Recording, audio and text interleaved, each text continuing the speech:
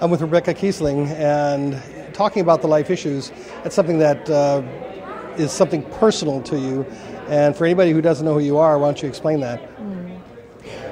My name is Rebecca Kiessling, and I am a pro life speaker, attorney, a mom, a wife, and my story is that I was conceived when my birth mother was abducted at knife point by a serial rapist.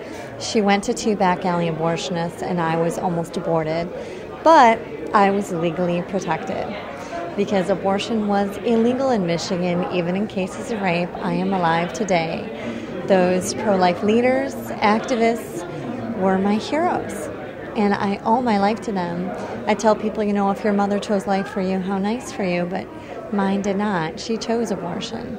And pro life leaders forced her to carry me, and that's why I'm alive today. And she's thankful for it as well. And you know, that's something that a lot of people just don't understand. It's an issue that's often brought up, and I know you've had to deal with this in trying to explain to people when they try to create legislation, they throw in these Hyde Amendment type provisions as if that's some sort of great answer to solving our abortion problem. What do you think about Hyde Amendment type of provisions? Oh, I explained to people the Hyde Amendment is the Hyde Amendment exceptions are so much more extreme than saying to me, I think your mother should have been able to abort you, which is like saying, if I had my way, you'd be dead right now. But it's taking it further and saying, and our tax dollars should have paid for it. Ouch! You call yourself pro life? Wow. And then you get exceptions like in Texas's sonogram bill.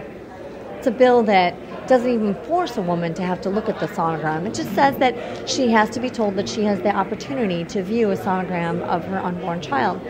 But somehow it's just so offensive to even suggest to a rape victim that she would have the opportunity to look at the rapist baby, that they, they wouldn't even want to suggest such an outrageous thing. I mean, it's ridiculous. It's really insulting, and it is not in any way pro life. If they can't even stand up for us in such an innocuous bill like that, Hmm. how are we ever going to overturn Roe v. Wade? You know, in footnote 54 of the U.S. Supreme Court's opinion, the court pointed out the fact that Texas had exceptions.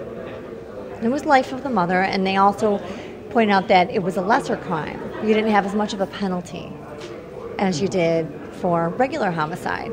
And also, there was an exemption for the mother. And the court said that that undermined the state's whole argument for personhood. Because clearly, Texas and any other state that has these exceptions, you don't really think that's a person.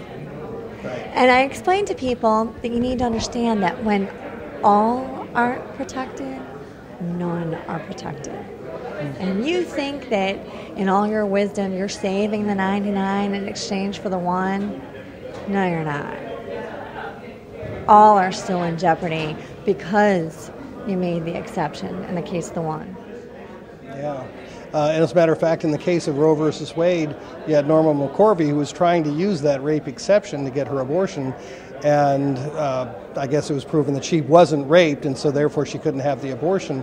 But, you know, we, the, the real point of this issue we know what we're talking about here. We know what abortion is. And, and often when I debate this, even with the most hardcore liberal pro abortion people, in the end, it, they might start off in the beginning, oh, clump of cells, we don't really know when the soul begins, whatever.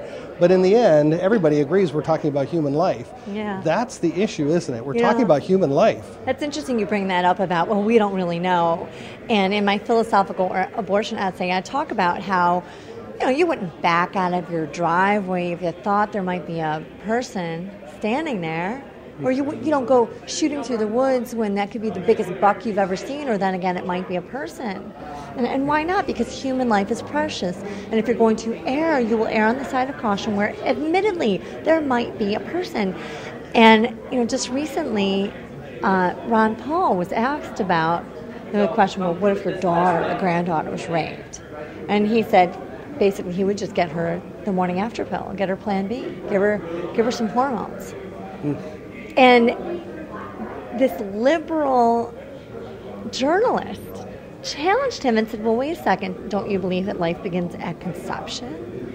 And he said, Yes, that's right. Life begins at conception. And the journalist said to him, Well, then how can you defend that? Because isn't it possible that that might be taking your life? And he said, It's possible, but you don't know. That's what Ron Paul said. You don't know Wow. if that's taking your life.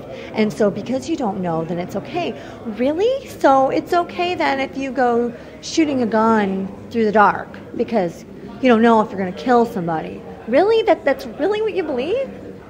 That's ridiculous. We need to think these things through. We need to think our positions through and what it's really saying. You really believe that I deserve the death penalty for the crime of my father? The Supreme Court said that rapists don't deserve the death penalty. Even child molesters don't get the death penalty.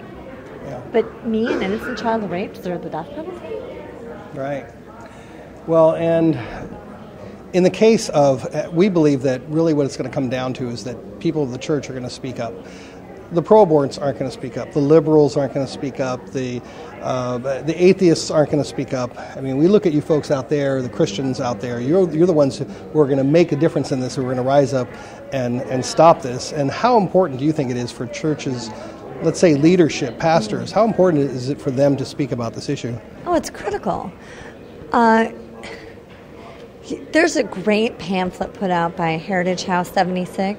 HeritageHouse76.com. They have the pamphlet of my story as well, which is Conceived and Rape, a Story of Hope. But they have this pamphlet called Sing a Little Lou- Louder. You ever seen that? Oh yeah. Yeah, and it tells the story of uh, this man who had been in Nazi Germany and how trains would come by during their church service and they could hear the screams. But they came like clockwork, right? So they just planned their church services to have the singing at the time that the trains would come by. And then when they could steer clear the voices, they would sing a little louder. Hmm. And I and this guy talks about that that's what he sees in America today. That the churches are just singing a little louder. And I, I heard this one speaker, I wish I could remember who it was, but he said abortion will end when the church says it will end. Like, you know, that's so true because right now the church has not spoken with unified voice saying it will end. That's right. Well, here we are, and we're speaking out, and everybody has a right to live. And if criminals, yeah, yeah, especially you know, this this young lady here, and and you know, you think about the reality of what we're up against, defending people in the most unprotected place, which you would think would be the most defended place. The womb should be the most defended place, and yet it's not. Children have to live in fear because 115,000 people aren't born every day in the world because of abortion. And so we really got to pull some strength together and, and speak about this. I mean, we, we just can't be quiet, can we? No. And you know, one last point about the whole rape exception issue is I understand that people want to be people of compassion. And they think that to show that you care about rape victims, that you have to make this rape exception. But they don't realize that, uh, first of all, the abortion rate nationwide today in unplanned pregnancies is over 50%. You ask people, well, what do you think it is for a rape victim? Have people say, oh, it's got to be like 90, no, like 95, right? They think, oh, a rape victim needs an abortion. A true rape victim couldn't possibly love the rapist baby. Uh, but there's two major studies done.